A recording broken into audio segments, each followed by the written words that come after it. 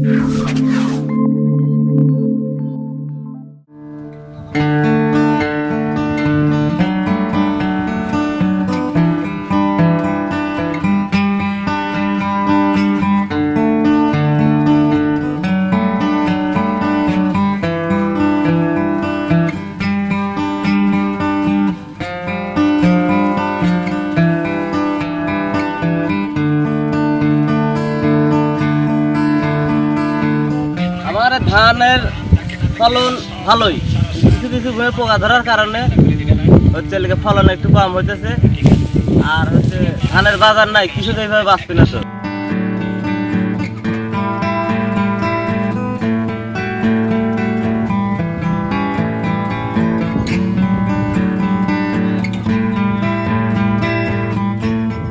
তারাস উপজেলা একটি খাদ্য উদ্বৃত্ত উপজেলা।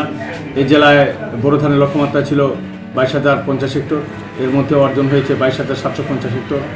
বড়ো জাতের ধানের মধ্যে এখানে বড় ফসলের মধ্যে মিনিগেট ধান হয়েছে বাইশ হাজার সরি, বারো হাজার হেক্টর এবং অন্যান্য ধানের মধ্যে বিধান উনত্রিশ, বিধান আঠাশ, বিধান আটান্ন সহ কিছু হাইব্রিড ধান আছে।